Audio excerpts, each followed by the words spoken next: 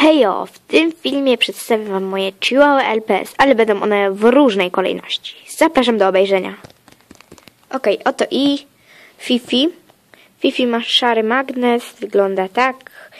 E, taka amerykańska chihuahua, ją dostałam pod choinkę. To jest Mimi, czarna chihuahua z dziurką. Ją również dostałam pod choinkę, bardzo fajna, tu, tu ma takie serduszka. Oto i Aurora. Aurora ma dziurkę. Jest to bardzo fajna chihuahua też. Ją mam z Allegro. Tu niestety ma takie to. Sprzedający nic o tym nie napisał. No ale da się przeżyć. To jest Kofi. Kofi ma szary magnesik. Jest to bardzo ładna brązowa chihuahua. Bardzo mi się podoba. To jest Lili, moja pierwsza chihuahua. Ma ona szary magnesik. Też jest bardzo słodziutka.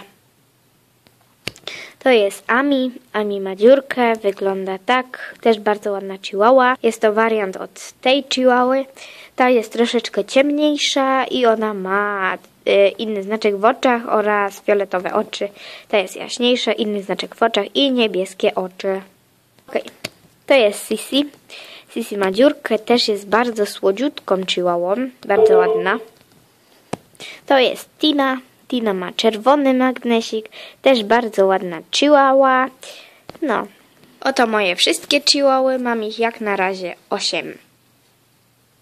Dzięki za obejrzenie, pa pa!